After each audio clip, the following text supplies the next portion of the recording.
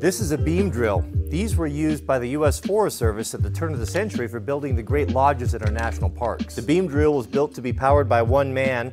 It has a sliding carriage with a latch on the top. If you raise it up and release the latch, it will slide down and the bit will come in contact with the wood. The beam drill was actually designed to be sat upon. The man's weight would hold it down and you could line up your hole and start your work.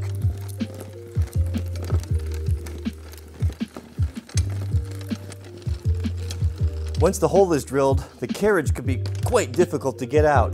This is my favorite part.